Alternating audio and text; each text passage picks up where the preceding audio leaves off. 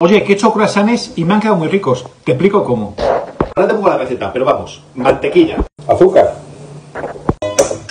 Dos huevos. Así de sal. 7 gramos de levadura. Así de leche. Unos 400 de harina fuerte.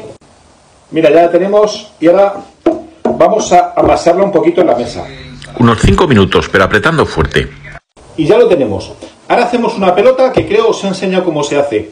No es hacer así y ya está, sino coges la masa y te la traes un poco hacia ti, haciendo fuerza con la mesa, ¿vale?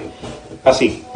La formas bien, hacemos una bolita, la dejamos descansar unos minutitos, cinco minutitos. A ver, y ahora viene la parte importante. Tenemos que hacer un regalito con esta masa y mantequilla. Te pongo la cantidad ahí exacta.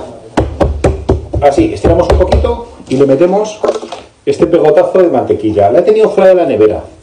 Entonces, está que se puede trabajar con ella, pero no está muy blandita. La ponemos así en el centro, ¿lo veis? Y hacemos un paquete. Y ya está, es como hacer un regalo. Fíjate, doblo los cuatro lados y con eso vale. Aplastamos un poquito con la mano. Descansa un poquito y lo estiramos más o menos unos 50-60 centímetros. Ahora hay que doblarlo en tres. Uy, no sé si me cabe bien. Pero bueno, vamos a doblarlo en tres. Así. ¿Lo veis que lo hemos doblado en uno? Y en tres. Hacemos así, que ahora lo vamos a estirar así otra vez y lo vamos a doblar en cuatro. Ves despacito y poniendo harina debajo de la masa para que no se pegue. Estiramos y ahora doblamos en cuatro. Así. Hacemos un librito. Sin forzar, ¿eh? Así. Mira qué, qué bonito. Lo voy a dejar que descanse otro poquito más y ya le damos la forma de croissant.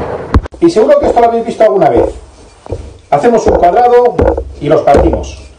Vamos a hacer croissants pequeñitos, ¿no? Es que es más repartidero. Intenta que te quede cuadrado. Ya está. Cuando tengamos la sábana, partimos y hacemos triangulitos. Si te quedan gorditos, luego los estiras un poco más. Estiráis un poquito el croissant, tiráis un poquito así de las patas y enrolláis para adelante. Seguro que lo habéis hecho alguna vez. Y ya está. Y así todos. Y que queden prietos. Esto la verdad es que me entretiene hacer lo que no veas. Y con las patas largotas, que me gusta a mí. A mí me gustan así, con las patas bien largas.